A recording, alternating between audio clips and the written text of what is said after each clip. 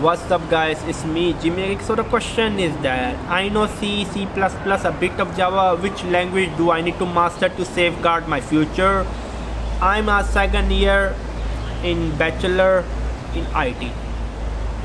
So uh, there's a person who knows C, C++ and a bit of Java but he's in IT if you're in IT, you're not in computer science, you're not in software engineering, if you're doing a bachelor in IT, information technology, ICT, in information communication technology, PHP. PHP. If you're computer science, I'll be recommending you C++, Java or Python. But in IT, there is not a single better language to master than PHP. PHP, PHP, PHP.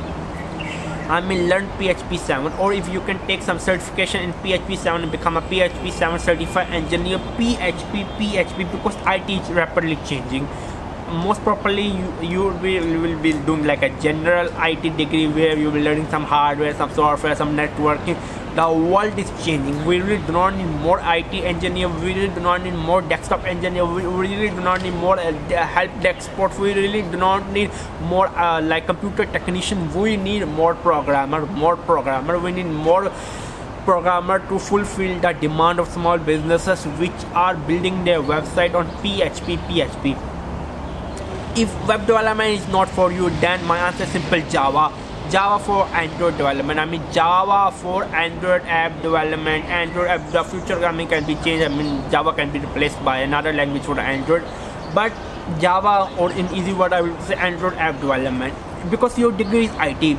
It look much better if you know PHP. You can get a web developer if you know Java or you have enough knowledge in Java app development with the SDK you can become an Android developer. I hope this answered the question. I'm not recommending the the Swift programming language for the iOS because iPhone 7 I mean Apple is declining. The future is not strong for them. I hope for the PHP I will be recommending you Muri PHP book. And then for Java I will recommending you uh, the head first the head first uh, Android app development and then the Java for Dummies book. The links are in the description box below. Bye